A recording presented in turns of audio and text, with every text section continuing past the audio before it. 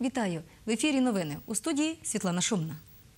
Сьогодні стартувала вступна кампанія до вищих навчальних закладів України. Документи прийматимуть до 20 липня. При складенні іспитів чи співбесід прийом заяв завершиться 26 липня. Абітурієнти зможуть подати до семи заяв не більше ніж на чотири спеціальності. Цього року виші прийматимуть сертифікати з НО 2016, 17 та 18 років зі всіх предметів, окрім іноземної мови, результати якої тільки за 2018. Зміни Міністерства освіти і науки стосуються коефіцієнтів для вступників міських та сільських шкіл та підвищення прохідного балу до медичних вишів. Про це нам повідомила начальник обласного управління освіти Ольга Хома. Дана вступна кампанія ще розпочалася у восени 2017 року, коли були затверджені умови щодо вступу у вищі навчальні заклади. Як і минулого року, маємо певні. Показники це по яких будуть приймати у вищі навчальні заклади дітей. Це регіональний, сільський та галузевий. Згідно з 17 роком, ми бачимо тут також певні зміни. Вони пов'язані з тим, що у держави є певні пріоритети до певних спеціальностей. Перше це педагогіка і охорона здоров'я, де вступники, які вступають у вищий навчальний заклад по цих спеціальностях, підписуючи угоду або договір е, про те, що вони готові протягом трьох років працювати у сільській місцевості або у містах, або у селищах міського типу, е, вони будуть мати вищий коефіцієнт і першочергово будуть зараховані. Навіть цей коефіцієнт зараховується, коли дані спеціальності у другому пріоритеті, а не першому. Тернопільська область буде мати коефіцієнт 1,02. Для сільської місцевості хочу зазначити, тут є певна зміна, е, адже минулоріч були показники того, що велика кількість дітей, які навчалися у містах обласного значення чи взагалі у містах. Е, 11 клас закінчували у сільській місцевості. Цьогоріч ми бачимо, що е, сільський коефіцієнт буде для тих вступників, які зареєстровані в селах не менше двох років до дня завершення подачі заяв про вступ та які в рік вступу здобули повну загальну середню освіту в школах, що знаходиться на території сіл. Для вступників було найбільш болючіше питання це 150 балів з другого та третього конкурсних предметів для вступу на три медичні спеціальності: стоматологія, медицина і педіатрія.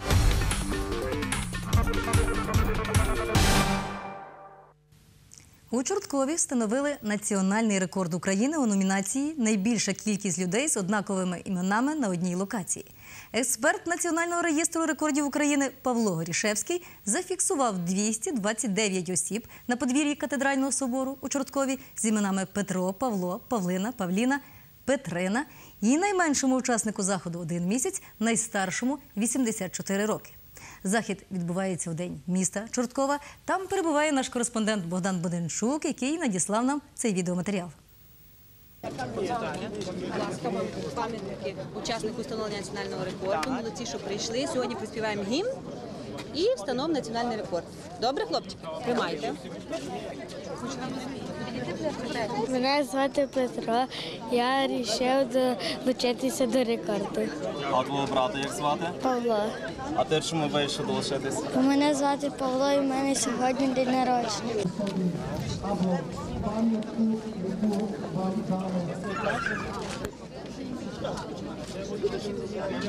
Дякуємо, вітаємо вас, даємо вам пам'ятку, не розходьтеся, зараз співати молитву, Боже великий людини. Дякую вам. Е, Я зараз просто реєстрація триває, я через декілька ну, хвилин напевно, до першого просто.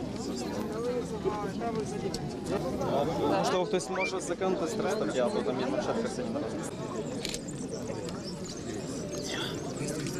зафіксовано сто- е, 143 людини з іменем Петро.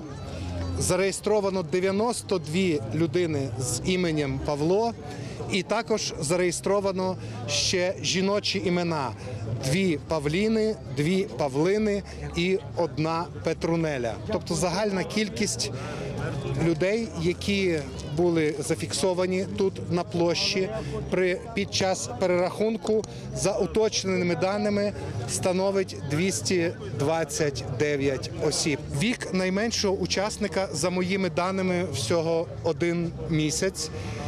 Вік найстаршого учасника, якщо я не помиляюсь, то 84 роки.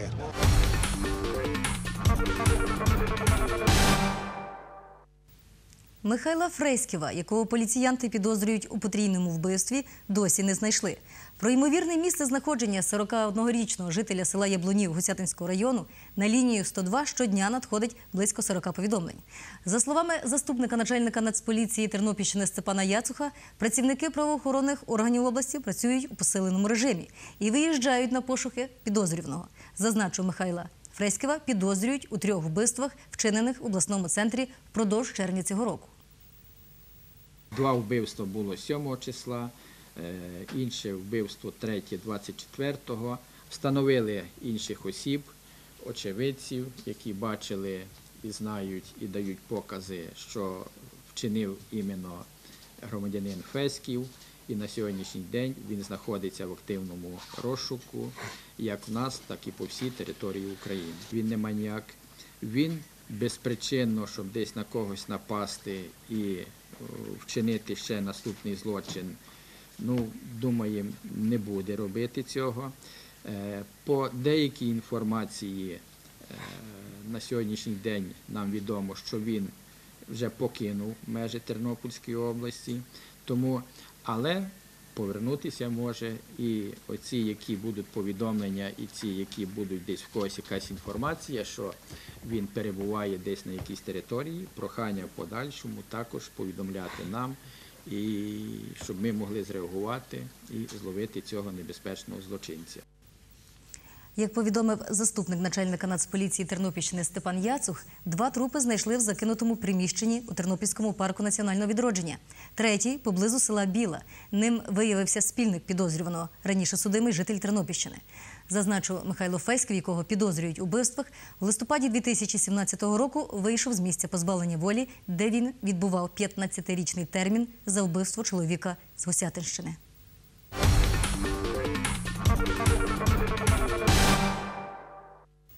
І до новин спорту.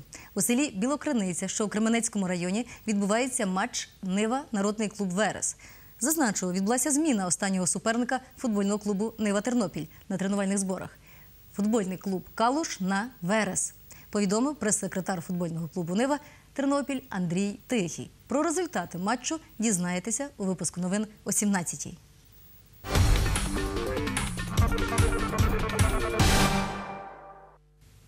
На навчально-спортивній базі «Колос» у Підгородньому, що на Тернопільщині, тривають всеукраїнські змагання з літнього біатлону на призи президента Федерації біатлону України. Змагаються на лижоролерах 70 хлопців та дівчат від 12 до 17 років з Тернопільської, Івано-Франківської та Львівської областей. Повідомляє тренер з біатлону Олег Меркушин.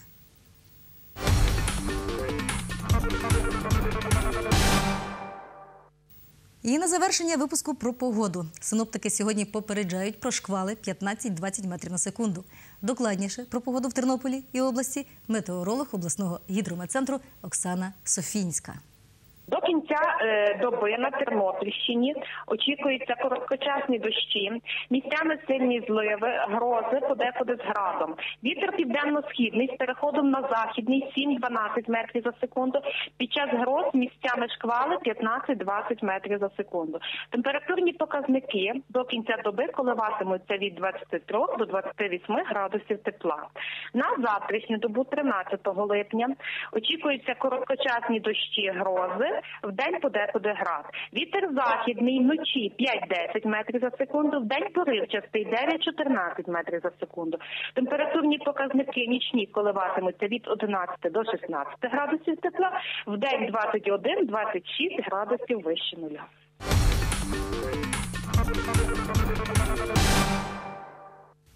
У мене усі новини на цю пору. У студії працювала Світлана Шумна. Побачимось.